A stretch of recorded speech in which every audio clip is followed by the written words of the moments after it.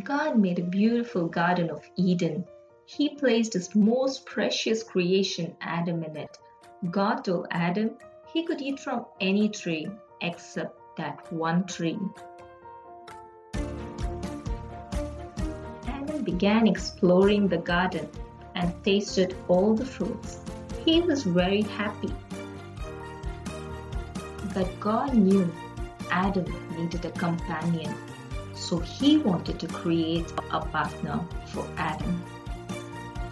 Before God had created Adam, he created birds and animals, but they did not have any name. So God brought all the birds and animals to Adam and asked him to name them. Adam was so excited seeing them he looked at each one of them and began to think. Dog! Yes, that's a dog.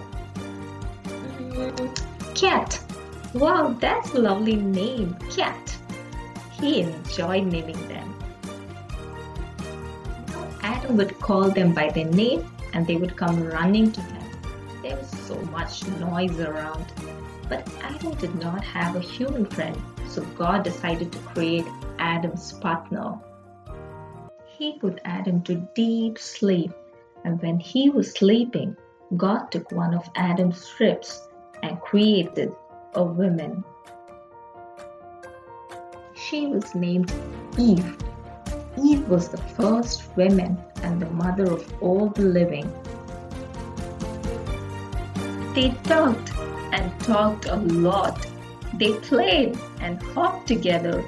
They became best friends. Now the Garden of Eden was filled with more joy and peace.